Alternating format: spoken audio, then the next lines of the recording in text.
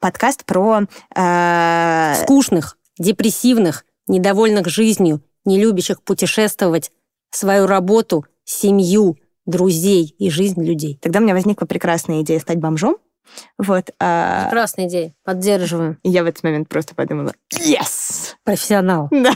Ну, можем курсы открывать. Я надела на себя абсолютно все, что я смогла на себя надеть. У меня было двое штанов, три юбки и так далее, и так далее, и так далее, и так далее, и так далее. Какие мы молодцы! Не говори.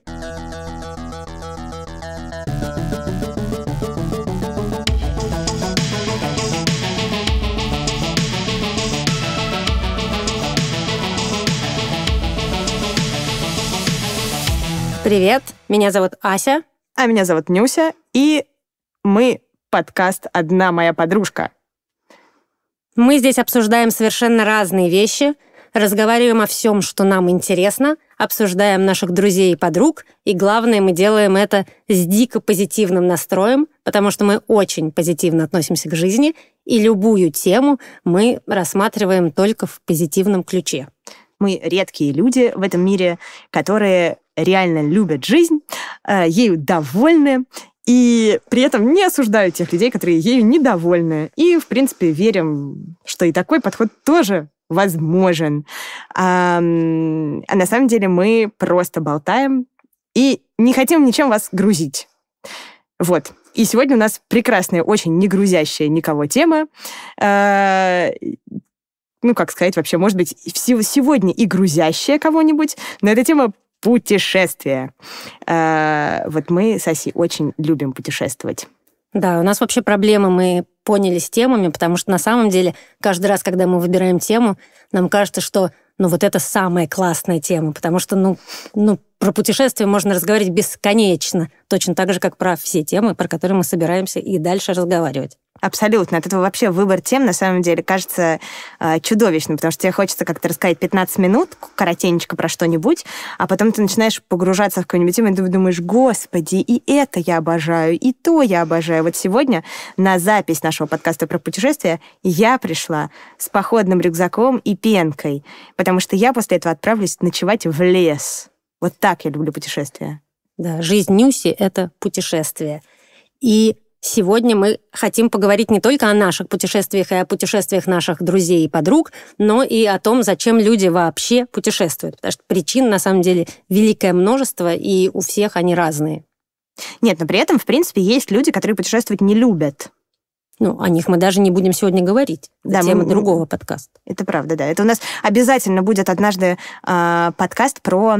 Э... Скучных, депрессивных, недовольных жизнью не любящих путешествовать, свою работу, семью, друзей и жизнь людей. Не, ну я бы, конечно, так прям жестко, наверное, не рубила с плеча, а, а просто людей, которые не похожи на нас. Это и, может они быть, есть. Они, может быть, нет, почему? Они вполне могут быть себе нормальными, веселыми людьми, которые не любят свою работу, не любят путешествия. Ну, например, любят что-нибудь другое, интересное, свое. Телевизор смотреть по вечерам, например. Ну а что, я знаю таких людей, вполне э, хорошо к ним отношусь. Например, кстати, моя мама, например, не любит путешествовать, реально. Вот.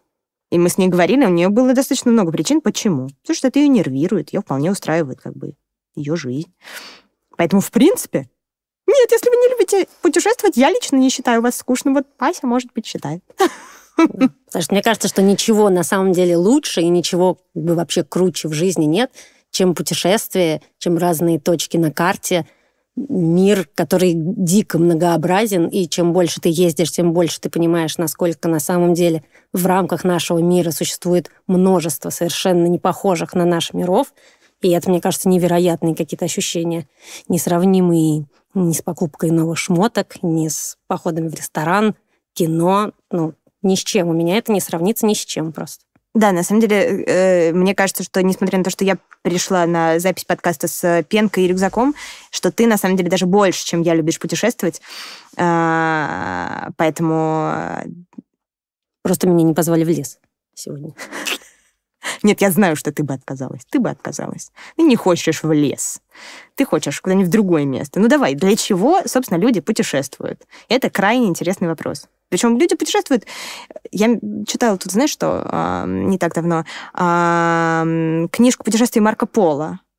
И вот тогда уже люди путешествовали. Это было, знаешь, очень давно. И они путешествовали десятилетиями от одной страны к другой. Вот тогда еще люди путешествовали. Ну так вот, для чего?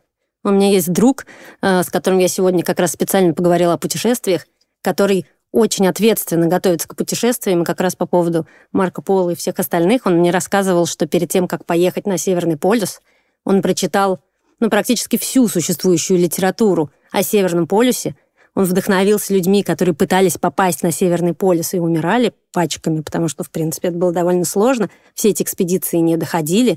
И как бы с этим диким багажом знаний он поехал, и на эти как бы синие льдинки который, в принципе, можно приехать и просто снимать в Инстаграм. Это невероятная красота. Для этого совершенно не должно быть никакого бэкграунда.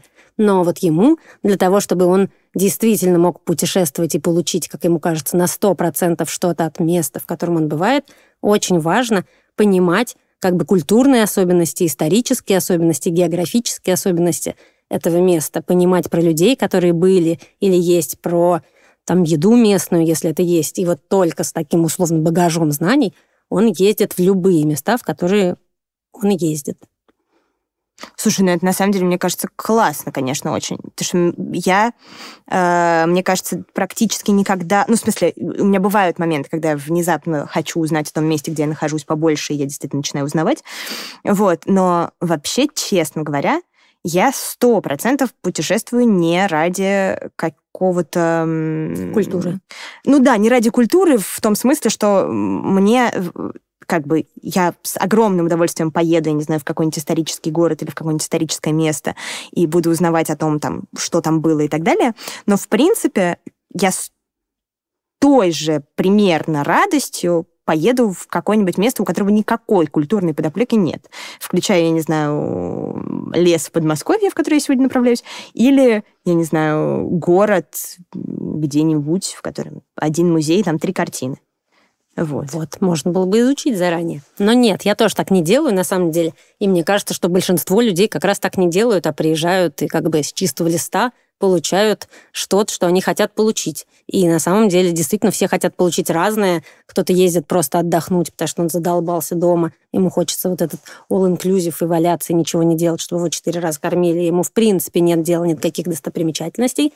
Кто-то ездит смотреть на природу. И я, например, поняла и тоже э, сделала опрос разных своих друзей и поняла, что на самом деле – люди, которые в 20, не знаю, 25, и, может быть, в каком-то еще возрасте ездили и смотрели на красивую архитектуру, э, Гауди, не знаю, еще что, постройки и бесконечная вот эта красоту, созданную людьми, теперь все практически переходят, как бы приходят к тому, что на самом деле им гораздо круче на природе, им гораздо круче ездить куда-то, где есть просто невероятные горы, водопады, ущелья, камни, пустыне, и от этого ты получаешь не, ну, как бы гораздо больше какой-то энергии. Я, например, реально, мне иногда просто, ну, не знаю, до какой-то эйфории. Я совершенно помешана на красивых видах. Мне просто нехорошо того, насколько это круто. И мне никакая, конечно, архитектура, никакие города уже не нужны давно.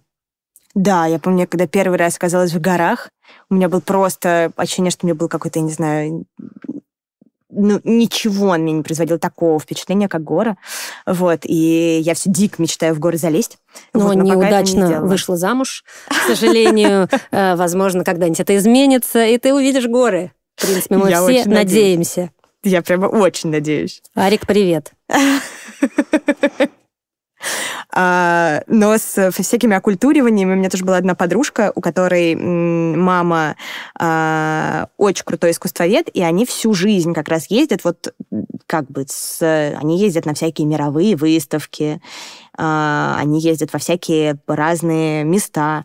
Вот, и в какой-то момент они приехали, и они приехали в Грецию, в Афины, вот, где, значит, моей подружки начался ужасный конъюнктивит. У нее дико болели глаза, и она не, не могла посмотреть вообще ни на что, потому что ее страшно ослеплял вот белый свет от этих, этих камней, вот, и просто, в общем, вся культурная программа ухнула в бездну, вот, но при этом она тоже как бы потом уже, когда все прошло, да, некое удовольствие получила. Посмотрела картинки. Смотрела картинки, да. Вот, но мне потому что кажется, что на самом деле ты, конечно, можешь э, почувствовать Короче, мне кажется, что в путешествиях на самом деле главное не то, что ты увидел, потому что увидеть ты можешь, ну, на самом деле, и как-то иначе. Сейчас особенно есть эти, я не знаю, все эти 3D-путешествия по музеям и так далее, и так далее, и так далее, и так далее. И, конечно, очень классно увидеть что-то вживую, я абсолютно поддерживаю это. Но, в принципе, конечно, как мне кажется, главное это все-таки некий experience, который ты получаешь, а, некий, э, ну, чувство, какое-то яркое чувство, которое ты от этого получаешь. И это может быть действительно какое-то освобождение от э, твоей жизни, прошлой, которая осталась у тебя где-то там. А, это может быть, я не знаю, какие-то классные приключения, которые с тобой не могли произойти где-то в другом месте. Я очень люблю нашу с тобой историю, как мы залезли на столбы. Вот мы с Асей, а, значит, ездили в Красноярск, и мы ездили туда по работе на книжную ярмарку в Красноярске. Гениальная книжная ярмарка. Э, но у нас было очень мало времени, а из-за перелета там еще сжирается, по-моему, ночь одна сжирается. И так получилось, что, в общем, короче, мы не спали совершенно. Но так как нам было очень важно получить experience и получить ощущение, мы решили залезть на главную достопримечательность э, Красноярска на столбы, они так и называются, столбы. Угу. Да. Это типа гор как раз, вот, а, которые я так люблю. Вот, и мы с Асита приехали и думали, сейчас мы быстренько поднимемся на подъемнике вверх, а потом быстренько спустимся вниз, и все будет в порядке. Вот, но мы приезжаем, и нам говорят, знаете, подъемник не работает. Сегодня какой-то понедельник или вторник, или там какой-то день, значит, выходной. Вот, и мы говорим, ну что ж мы, что ж мы, слабаки, что ли? Сейчас мы сами залезем в эти горы, они невысокие. И, значит, Ася в кроссовках на таких очень больших платформах, а, я в каких-то, значит, крайне неудобных гриндарах. А, мы практически по полуотвесной скале четыре часа поднимаемся на столбы. Вот. А, потом еле-еле оттуда съезжаем. Нет, а потом мы залезли, когда на столбы, нам сказали, а, кстати, до столбов теперь 11 километров по прямой. А, и да. мы уже не пошли на столбы, потому что нам работать надо было. Это и мы правда. действительно просто съехали вниз. Да, мы просто реально съехали, вот прям в, в прямом смысле мы съехали вниз, потому что как бы иначе мы никак не могли спуститься, мы не могли шагать, поэтому потому что это был, была осень и было очень скользко, а потом мы приехали в нашу гостиницу, и нам сказали, а, ну это хорошо, что вы медведей не встретили. Да-да-да, потому что они не спят сейчас. Вот.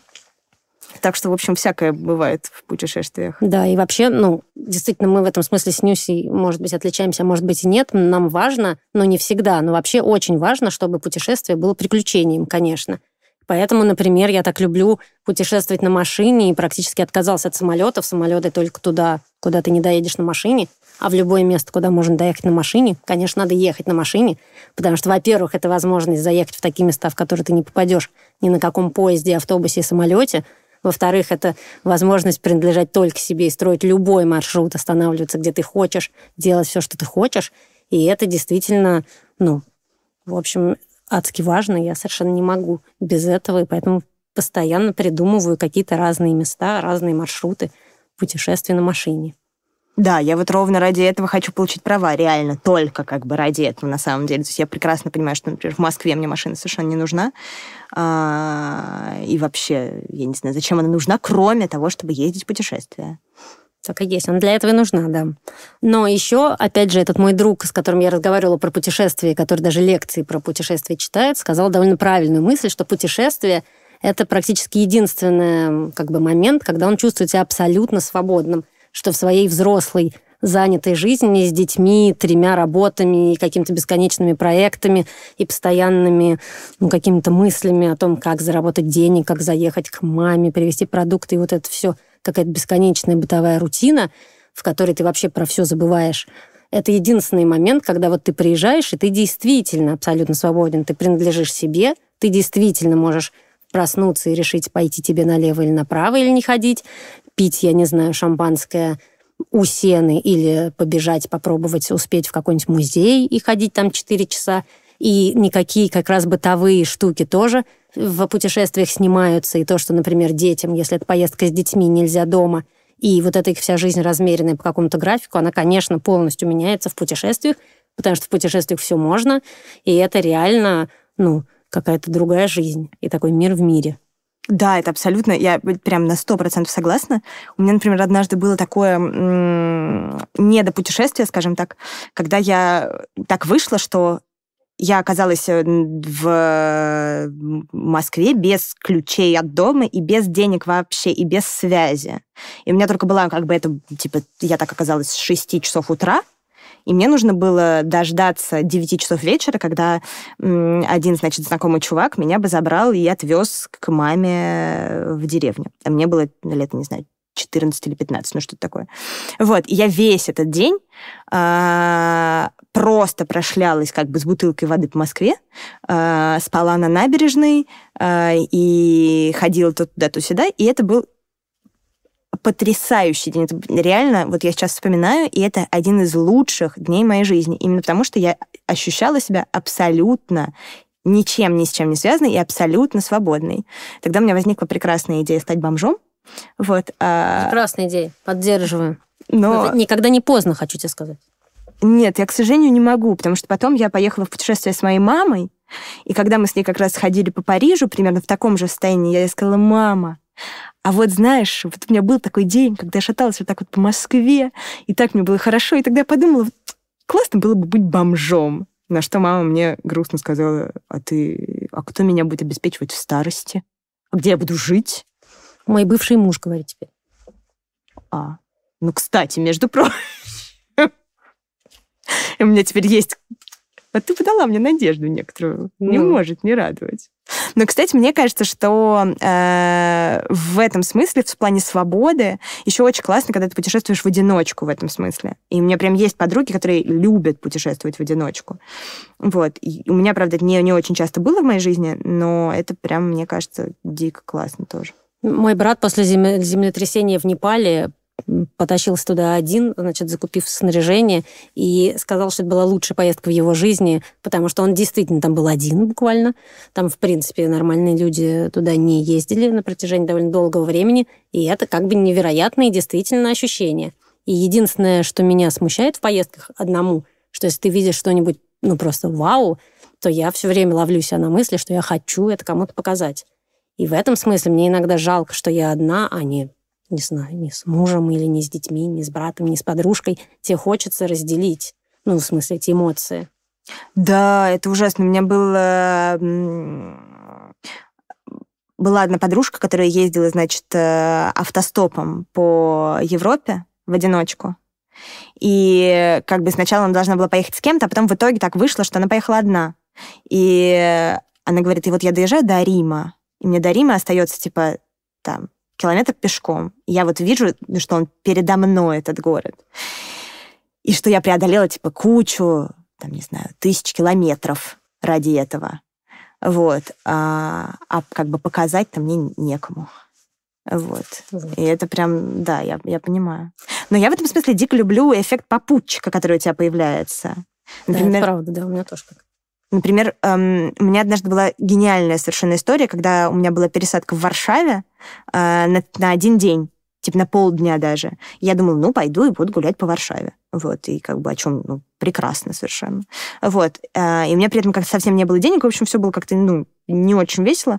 Вот, и вдруг я увидела на улице чувака, сильно, очень сильно старше меня он был, ему, наверное, было лет 50, вот, который потерялся в своей карте города, и я ему что-то помогла найти. Ну, не знаю, почему-то у меня это лучше получилось сделать, чем у него. А потом он меня спросила, а вы куда идете? Я говорю, я просто гуляю. Он сказал, давайте просто вместе погуляем. И мы реально, это было гениально абсолютно. Мы гуляли вместе весь день. Он даже меня накормил как старший товарищ. И при этом это было абсолютно как бы чисто только по-дружески, никак иначе. Вот. А, и мы прогуляли целый день, поговорили о каких-то дико тонких вещах, я не знаю, очень сблизились условно, и никогда я больше не знаю, где он, что он, все, навеки исчез в моей жизни. Да, нет, крутая история. Я люблю, если я приезжаю куда-нибудь одна, мне на самом деле тоже нравится, я люблю узнавать у всяких своих друзей и знакомых, э, кто там живет в этом месте, чтобы меня знакомили с незнакомыми пока людьми, потому что это тоже совершенно новый опыт, особенно если это люди, которые не приехали, а живут в этом месте. Там я так ездила в Лондон, то они, конечно, могут провести невероятные экскурсии. Они показывают какой-то свой Лондон, и это не Биг Бен, а вообще какие-то, ну, вещи только им понятные, какие-то штуки, которые ты действительно никогда не встретишь, приехав как турист. Поэтому я очень люблю встречаться с людьми, которые как-то мне могут показать свою страну. И заодно знакомиться с новыми людьми. Мне тоже нравится.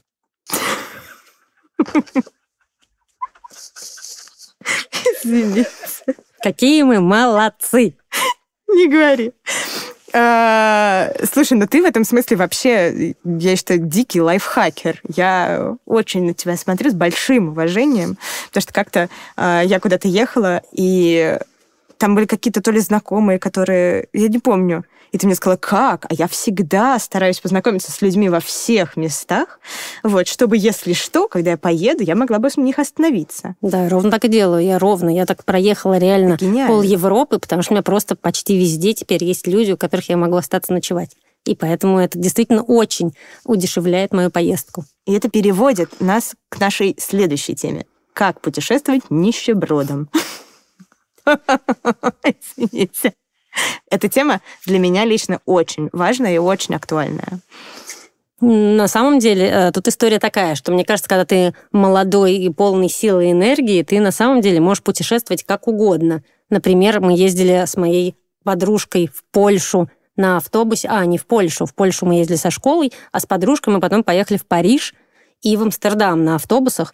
И это, ну, в смысле, сейчас бы я это точно не повторила. Это какая-то бесконечная, жуткая совершенно была история. Мы ехали до Германии с людьми, которые ехали на ПМЖ и не в Берлин, а в какие-то далекие города Германии, и мы все приезжали в Берлин, и это были бабушки с тюками. Ты в этом автобусе не мог продраться через какие-то бесконечные чемоданы, потому что это евреи, которые перевозят все свое за много поколений имущество наконец-то на практически святую землю европейскую. И как бы с ними, на самом деле, ехать можно только, когда тебе 18 или 17 лет, и тебе абсолютно как бы все равно, и при этом ты еще мало места занимаешь, у тебя нет своих вещей. Поэтому это тоже, ну, как бы вот э, юные, ничем не обремененные, конечно, должны путешествовать на всяких автобусах, перекладных, поездах, вот этих э, изи-джетах, да, но это вот прям абсолютно мой вариант. У меня был прекрасный, прекрасный, как, эм, как и все нищеброды, я, естественно, летаю, ю, да, добавлю, как и все юные нищеброды, я летаю, конечно, рейсами Победы, вот, а у которых всегда дикая проблема с багажом. То есть тебя могут завернуть или заставить тебя доплачивать, если у тебя перевес хотя бы там на 2 грамма. Вот. А, причем доплачивать, ну, как бы конкретно учитывая то, какой дешевый ты билет покупаешь, ты, не знаю, можешь заплатить типа 30% от этого билета. Вот. А, и в какой-то момент я после очень долгого путешествия, где мы там где-то стояли с палатками, потом гуляли по каким-то городам, еще были у каких-то друзей в гостях, мы возвращались как раз рейсом Победы, и э, у нас было два походных рюкзака, на которые как бы вот ровно мы за них заплатили. И перевеса не должно было быть ни на грамм. Вот. А так как мы, естественно, накупили кучу какого-то, какого, какой-то фигни везде, то я всю одежду, вот ровно как в, если вы смотрели Джармуша «Таинственный поезд», там в какой-то момент эта японка начинает надевать на себя все футболки, вот ровно так я и сделала. Я надела на себя абсолютно все, что я смогла на себя надеть. У меня было двое штанов, три юбки и так далее, и так далее, и так далее, и так далее, и так далее. Вот. И в самый последний момент, уже когда я стояла в очереди, я думаю, так, подождите, что-то еще я могу достать? И думаю, а, да, конечно, наушники. Я достаю, значит, из этого рюкзака наушники, цепляю их на себя, ставлю его на весы, и там получается ровно того значения, которое должно получиться. И я в этот момент просто подумала, yes! Профессионал. Да. Ну, можем курсы открывать. Конечно. А, и, и, конечно, у меня есть, как лайфхак для нищебродов, есть гениальный совершенно сайт Вандроуки, вот, который я обожаю, и на который ты заходишь, и там действительно куча, типа, вот этих вот супер дешевых билетов. Я вот так ездила за 3000 в, типа, Таллин в прошлом году. Прям очень классно. Да, а для нищебродов, которым жить негде, есть хороший сайт Couchsurfing, на котором, на самом деле, ты можешь найти себе кого-то, может быть, не очень симпатичного, зато бесплатно переночевать у него, это правда, да. Я, кстати, на нем зарегистрирована и ни разу так к себе никого и не пустила почему-то. Ну, у меня, в смысле, были какие-то... И не надо. Нет, я очень хочу. Все теперь уже, поезд ушел. А это еще правда. есть главный лайфхак, которым мы с Ньюси воспользовались, это пойти работать в такое место, где ты будешь просто ездить и путешествовать. И мы работаем в детском издательстве. Детское издательство участвует в различных книжных фестивалях и ярмарках. Они проходят э, в истории с нашим издательством а, только в России, но зато по всей России. И у нас есть возможность побывать в разных совершенно тоже необычных местах. Вот Нюся ездила в Владивосток. Я дико Просто завидую лучший. до сих пор. Не Вообще. могу поверить. Я, честно говоря, поэтому и пошла вместо Нюси работать. Потому что я надеялась, что Владивосток повторится. Но нет. Теперь я жду Байкала. Ужасно, ужасно. А, ну и слушайте, мы напоследок вам хотели сказать последнюю вещь, а, которая актуальна для всех нас сейчас, для нищебродов, для богатых людей, для всех что у нас сейчас все, конечно, закрыто во время пандемии, вот, и даже одна моя подружка, которая, надеюсь, нас послушает, э, к сожалению, не смогла поехать в Турцию только что и реально, в общем, потеряла, ну, я не знаю, в чем у нее закончилась история, но я знаю, что она практически потеряла билеты за какие-то огромные деньги. Вот. Очень соболезную всем в этой ситуации, но на самом деле, ребята, путешествие по России — это огонь в России миллион очень крутых мест, и сейчас как-то их еще, мне кажется, вычистили, вы обработали. Я, например, езжу достаточно регулярно во Владимир, и я просто поражаюсь, насколько это красивый город, где, где поездить, куда сходить, посмотреть что-то. Ну, в смысле, просто гениально. Не Нет. были во Владимире, езжайте. Соглашусь, да. Это действительно... Ну, Россия реально настолько необъятная тема, и у меня, на самом деле, опять же, я поговорила с разными своими друзьями, и самые у них крутые поездки и запоминающиеся были поездки автостопом реально через всю Россию. У меня есть несколько друзей, которые доехали до Владивостока как раз. А, и, честно говоря, с одной стороны, они всем передают нашим слушателям, что они бы не повторили это никогда, но на самом деле, когда тебе, не знаю, от 18 до 25, это идеальный, мне кажется, возраст, это идеальное время для того, чтобы таким образом путешествовать. И, с одной стороны, э, в России невероятное количество очень крутых мест, и действительно, пока ты доберешься до Владивостока, чего только не увидишь.